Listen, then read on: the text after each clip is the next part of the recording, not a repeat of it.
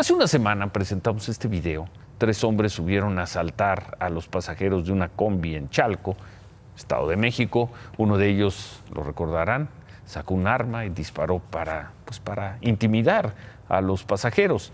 El robo ocurrió el lunes de la semana pasada y el martes se conoció el video.